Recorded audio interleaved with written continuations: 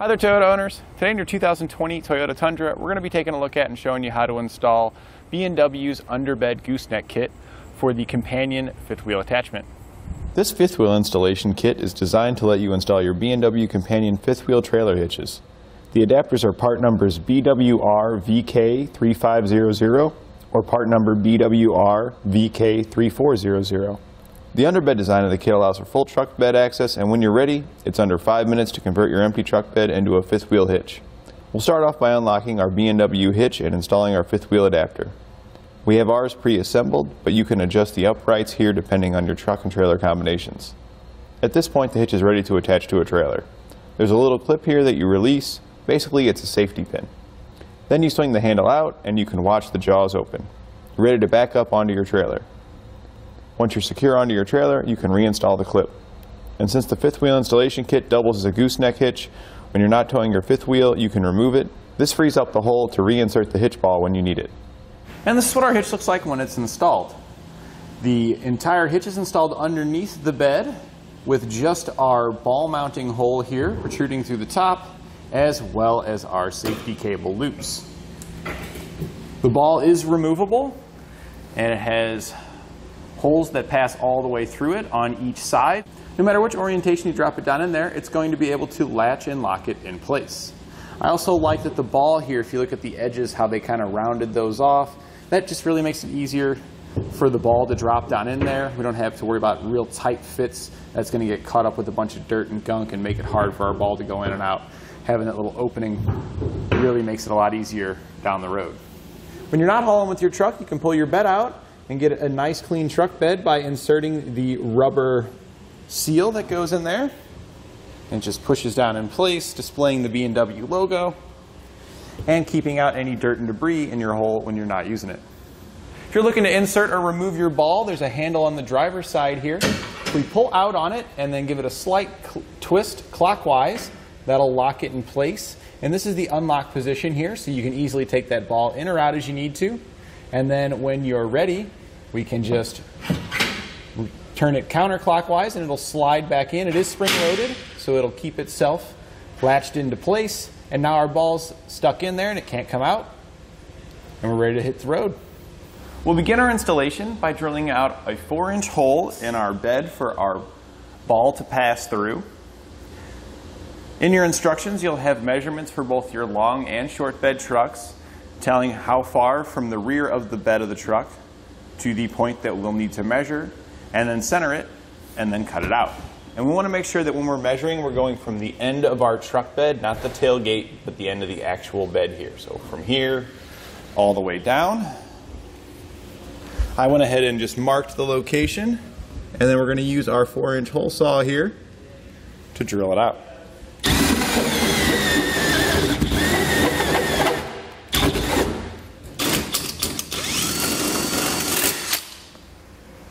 Now that we've got that cut out, we can just take some clear coat and spray it on here to clean it up. I'm going to use a vacuum as well to get rid of all the shavings before putting the clear coat on it.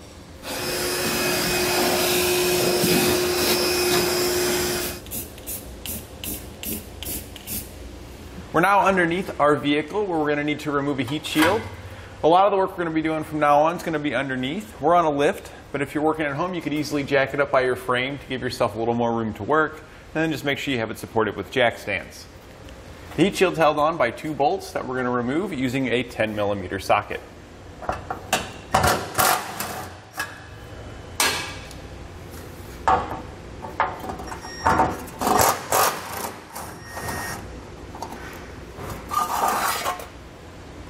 We'll just set this aside for now. Next, we'll need to get our charcoal canister out of the way. The electrical connector located here, we're just going to press it on the release tab on top, and then we can just pull that to disconnect it. And then we're going to remove the two bolts here that hold this bracket onto the canister. We're going to use our 10 millimeter socket.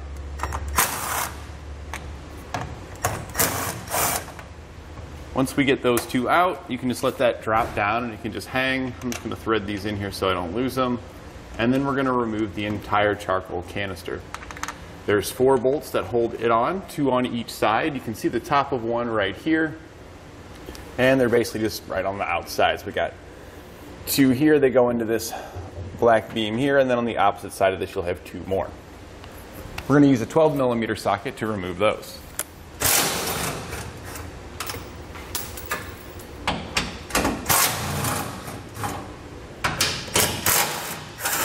When you remove the last bolt, just kind of support it. And then we're just going to gently lower it down here, and it's just going to kind of hang out here. If you want, you can put a little bungee cord strap on it or something to help relieve some tension off of the hoses that are attached to it. Also to give ourselves some additional room, we went ahead and lowered down our spare tire. You can find information on lowering down your spare tire in your owner's manual. You'll slide it through the square in the back and it'll go through the slot here with the tools that come provided with your truck. We'll also need to lower down our exhaust. So I've got a strap over here. I just hooked it on the cross member on one side. We're going to hook it over here on the other side of the cross member to create a cradle here at the bottom to catch our exhaust because we don't want it to fall down too far. Here at the back, we've got a hanger. We're just going to use our pry bar here just to pry that off of there. And we can just let that hang out right there. Then we're going to go towards the front of the vehicle some. We'll have another hanger right here behind our muffler. So we're just going to pry this one off of there.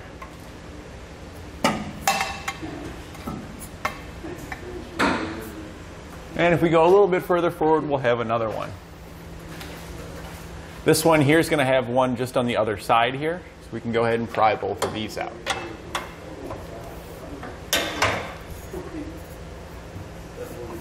If you're having a difficult time getting these pry, to pry off, you can use a little bit of spray lubricant. That can help ease the hangers to slide off better. We're then back underneath the vehicle here, and the module located here on the driver's side, on the inside of the frame rail, just above your axle at the back. We're going to get this guy out of the way. So just on the other side of the frame, there's a nut we're going to remove with a 12 millimeter socket.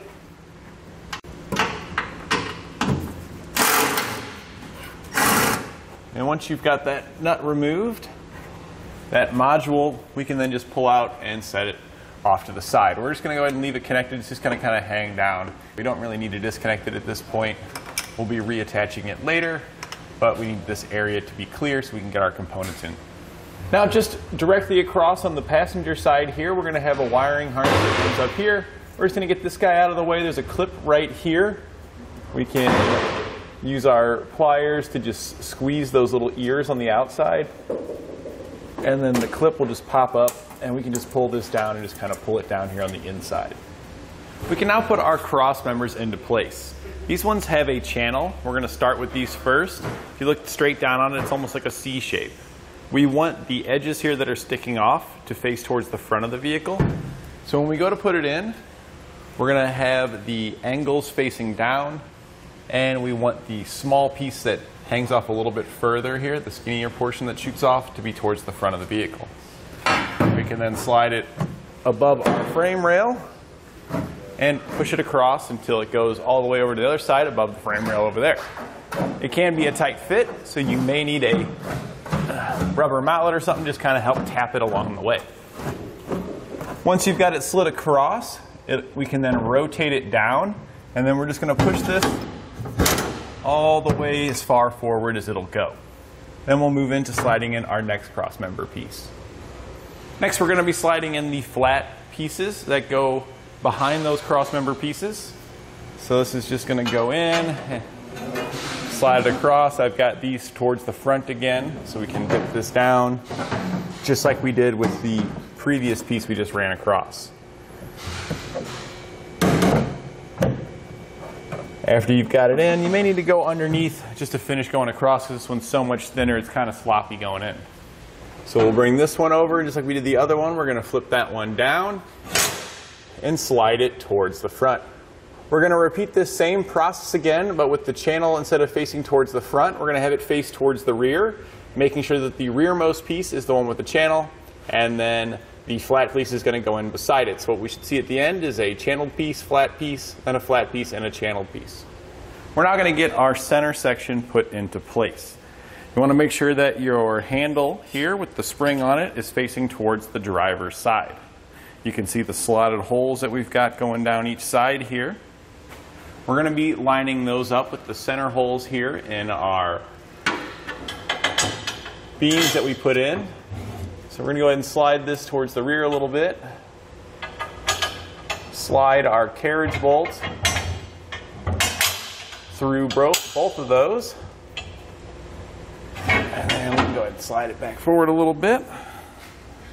We're going to lift our center section into place.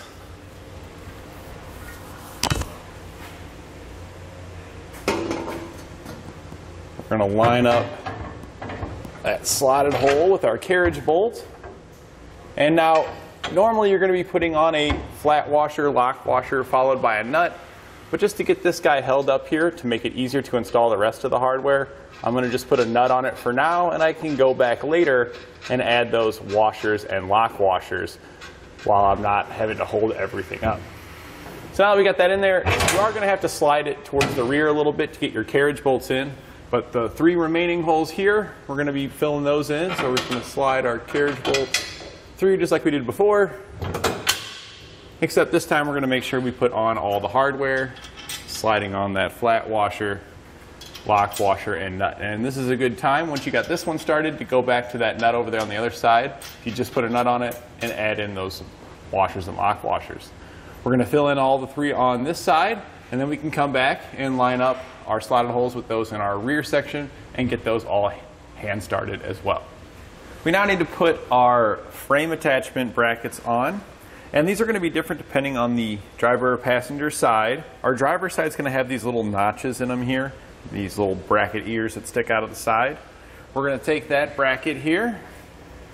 We're going to slide it up in so it sits on the bottom part of our frame and it also sits on top the frame and then goes in between our center section.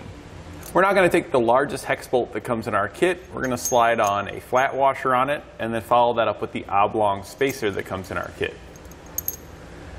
This can then slide up through the bottom of the frame up into our bracket. We're then going to follow this up with a lock washer and a nut. We'll then repeat that for the upper bolt through the top of the frame as well.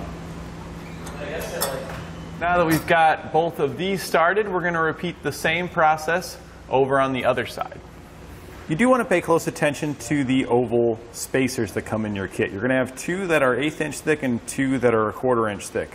The quarter inch thick are for the lower bolts that go through the bottom section of the frame, and the thinner ones are for the upper bolts that go through the top section of the frame. And now the remaining holes we've got in our crossbars and our side plates here, we're going to slide carriage bolts through just like we did with the ones towards the middle.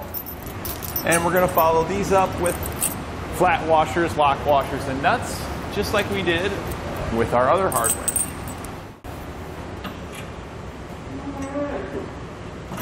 So we're just going to repeat this for the other bolt here on the opposite side of our side plate here, and then for both bolts for the other side plate on the other side. We can then go back and tighten down all of our hardware. We're going to use a 3 quarter inch socket to tighten down all the nuts on our cross beams to our center section here.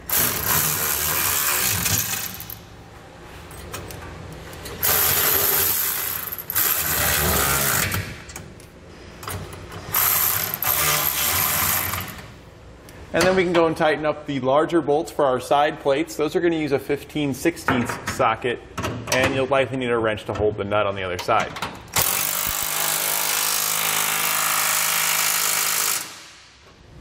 Make sure that your washer goes flush against the bottom of the frame. If you see a gap, then your oblong spacer is likely not set inside that oblong hole.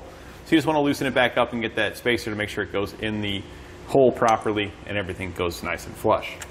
We can then go back and torque our hardware to the specifications found in our instructions.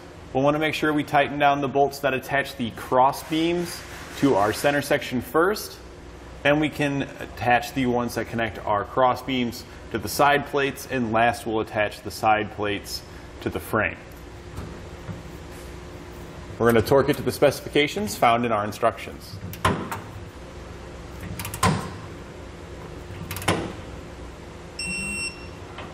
Now that we've got everything torqued down, we've got a few more components we need to install. We're going to be putting our handle in for the release lever. This is going to start on the outside of our frame. It's going to go over top of the frame. And then as we come towards the inside, there's a, slaw, a small slit in our hitch here. We're going to make sure we slide through that. And then once we've got it through here, I'm just pushing it towards the front of the vehicle now. So now we're going to grab the release rod here, and you want to be careful. Keep your fingers away from this side on the spring mechanism side over there. We're going to pull it out, and then we're going to tip it down. Right here, pull that down on the little lever end, and that's going to keep it in the released position for us.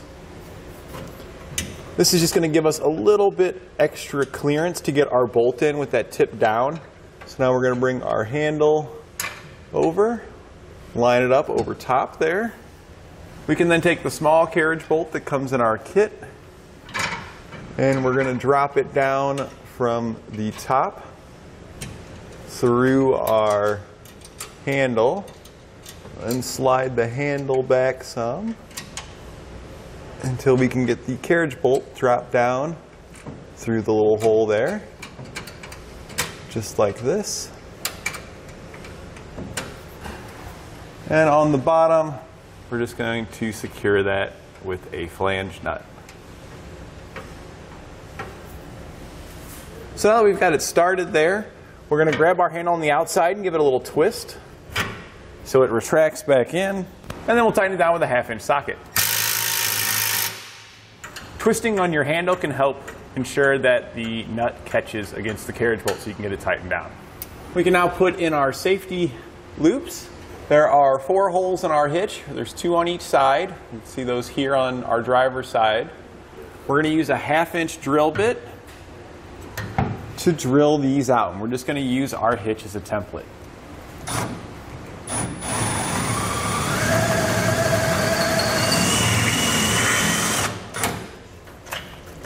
We'll then repeat that for the three remaining holes. We're now back up on top of our bed here and we're going to vacuum up the shavings we made from drilling out those holes. And then just like we did with the large hole, we're going to put a little clear coat on these small ones just to help protect them against corrosion. And now we can take our safety chain loops and these are just going to drop down through our holes. And then we can go back down below and secure those. We're now back underneath where we can see our loops passing through here for our safety chains. We're going to take the springs that come included with our kit. We're going to slide it over one end and then we're going to start a nut on it. We're going to do the same thing for the other side of this little loop here. And then we're going to do the same thing to the other safety chain loop over on the other side. We'll then use our 3 quarter inch socket to snug these down and we just want to tighten it until the nut is flush with the bottom of the U-bolt.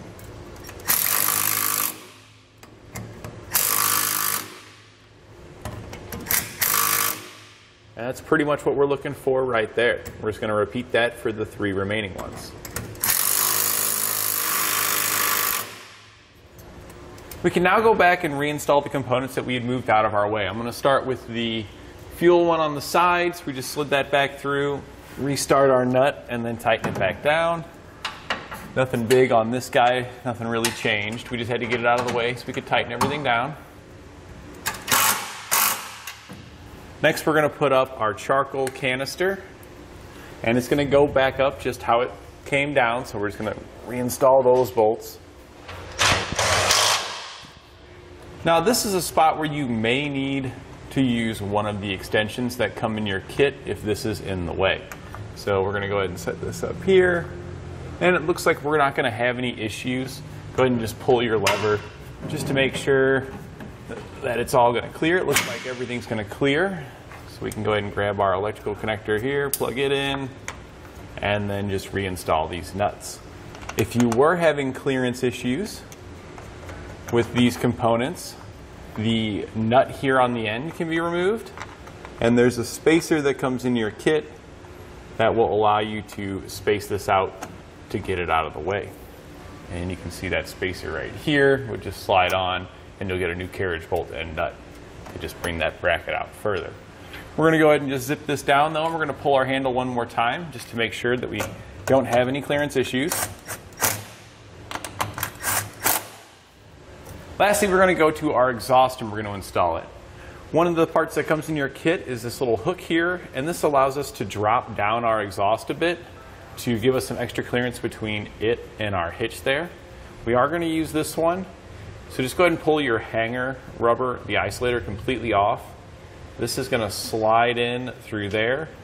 It's a little bit tough, but if you just work it around like that, that drops our exhaust down here in the back, so we can then just slide this on here and slide it over this one as well. And then we can lift it up and reinstall it onto the hanger.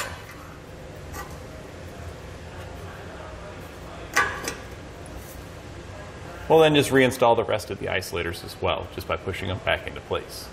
Now that we've got everything installed, we just want to check our handle to make sure that it operates smoothly. So you just want to pull it in and out, make sure that it goes in and out smoothly, and then it can lock into its release position. In order for ours to operate smoothly, we did have to cut just a little bit out here on the bottom of the inner fender liner over on our driver's side because it was rubbing on this, causing it to bind up, as well as causing it to knock out of the latch position.